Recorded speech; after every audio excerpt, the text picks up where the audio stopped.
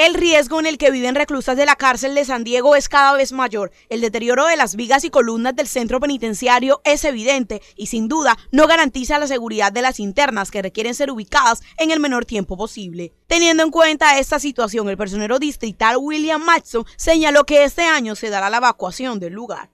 En este año, si Dios quiere, va a ser posible el traslado a la cárcel.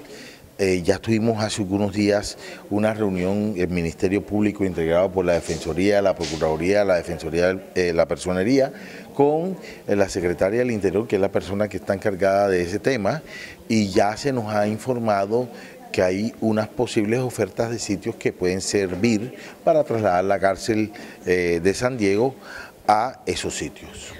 La Procuraduría General de la Nación exigió que se hiciera un traslado o se tomaran las medidas correctivas requeridas para proteger a las reas y al personal administrativo a cargo de la cárcel, pero hasta el momento ningún lugar ha cumplido con los parámetros de seguridad requeridos. Mire, yo creo que sí va a ser posible para este año y esa es la intención de la administración y de nosotros, porque es que recuerden que esto es objeto de una tutela que ya está en desacato.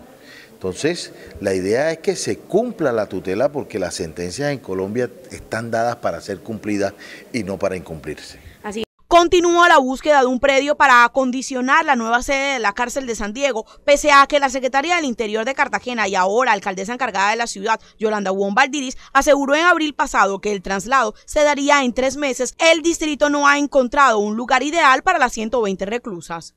Son, son, son digamos, unas casafincas donde ellas pueden eh, eh, tener un proceso de resocialización adecuado mientras cumplen la pena que le ha sido asignada por un juez de la República. En las próximas semanas, el Instituto Nacional Penitenciario y Carcelario IMPED y las autoridades locales revisarán unas propiedades en Turbaco para establecer si cumplen con todo lo requerido.